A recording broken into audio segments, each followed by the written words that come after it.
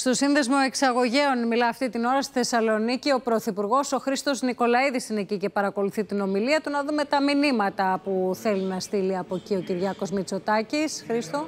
Και πριν, και, και πριν από λίγα δευτερόλεπτα, ο κύριος Μητσοτάκης έκανε μια ε, σαφή και έντονη αναφορά στη Συμφωνία των Πρεσπών. Η τελευταία ρητορική των γειτόνων, τόσο της Προέδρου της Δημοκρατίας όσο και του εντολοδόχου Πρωθυπουργού, ε, είναι απαράδεκτη. Η Ελλάδα την απορρίπτει και την επιστρέφει, είπε χαρακτηριστικά ο Κυριάκος Μητσοτάκης, καθώς αναφερόμενος σε ένα αίτημα του Συνδέσμου Εξαγωγέων για την κατοχήρωση του σήματος των μακεδονικών προϊόντων.